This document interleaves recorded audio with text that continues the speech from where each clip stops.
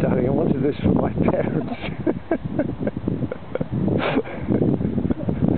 Yeah, here we go. right, you accelerate away now. That's it.